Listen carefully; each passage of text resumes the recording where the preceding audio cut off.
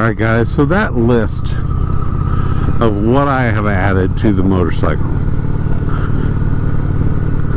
and what is stock. Okay, the seat, the pegs, anything pretty much on the body of the motorcycle is all stock. Um, I've been very happy with the Honda Shadow as far as how it came originally. Um, the lights even stock even though I need to change out the light bulb. I mean there's all kinds of stuff I would like to do to uh, improve safety and things like that and adding I mean I have an LED light on this and I really need to put one on here. Um, anyway besides the point the headlight everything is stock original 2003 baby. Um, what is an add-on to the motorcycle? What you see though? There's a lot of add-ons right as to what you see. Uh, starting from the left we have my mascot. Obviously he did not come with the bike. Uh, I haven't named him or anything like that. Mirrors are all stock. This Kemimoto cup holder which you never see me have a cup in uh, that is an add-on obviously did not come with the motorcycle. Let's pull over here. Um, this little box down here is called has been a wonder for me. It's called the Psychic and what it is is it is a air pressure monitoring system tire pressure monitoring system TPMS right? So that is not stock. I got that on Amazon. That was about 50 bucks. Um, well worth the money. What it has is there's no wires or anything. It runs wirelessly. This unit attaches on here and then you replace your valve stem caps with the valve stem caps for this which uh, constantly monitor your tire pressure. I don't have it turned on right now.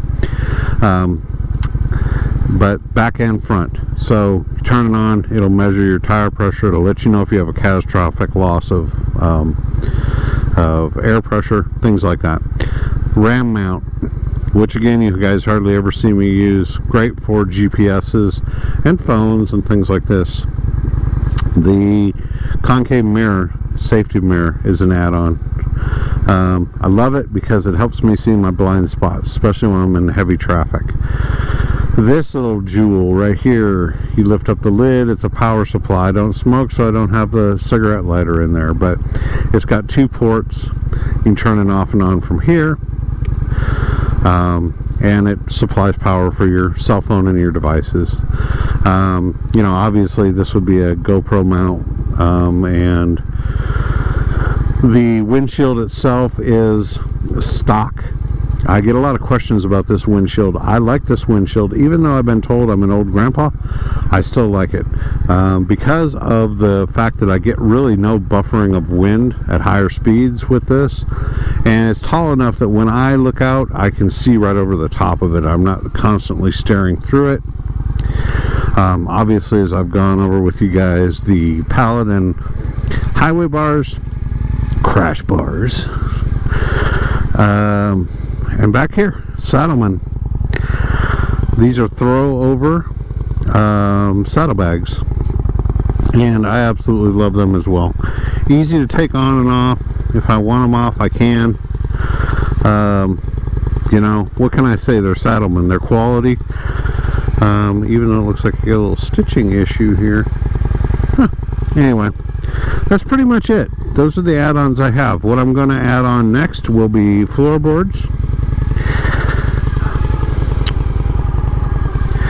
highway bar pegs. Thinking about some lights. What do you guys think? Maybe like some fog light type look on it. And finally, the other thing I'm really thinking about doing is the tail bag. Either fixed, permanently mounted, hard shell, or soft shell that I can remove on and off. The jury's still out on that but yeah guys. Those are the add-ons done so far on this bike. Not a whole lot. Not a whole lot